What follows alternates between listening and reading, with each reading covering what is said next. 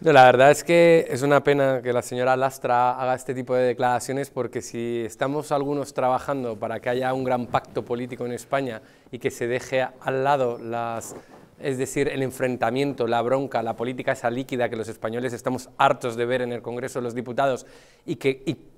creemos realmente que podemos juntarnos para sacar a España adelante, lo que está haciendo la señora Lastra no tiene nada que ver. Está haciendo demagogia barata y encima, encima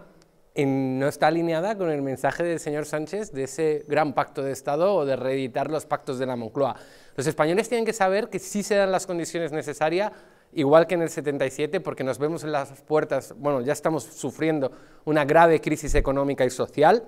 estamos ante una España que puede descarrilar si no hay un gran acuerdo político, y la verdad es que necesitamos tener altura de miras para no cambiar de régimen como en aquel momento, cambiar la forma de hacer política. Pero no existe afinidad personal entre los líderes políticos de, nuestro momento, ¿no? de la actualidad en España. Es más, la afinidad personal de Sánchez y sus socios de gobierno está más con los que quieren destruir España o crear una ficticia república catalana o tienen sus intereses políticos en el País Vasco para legitimar los fines políticos de ETA, no existe esa afinidad personal, no existe tampoco altura de miras y no existe una política seria porque los partidos políticos ahora se dedican a hacer lo que le dicen sus gabinetes de comunicación y cuál es su estrategia, el buscar un titular, el buscar un buen tuit y no pensar en reformas serias que poner sobre la mesa, el pensar en esa España a largo plazo que queremos construir en los próximos años.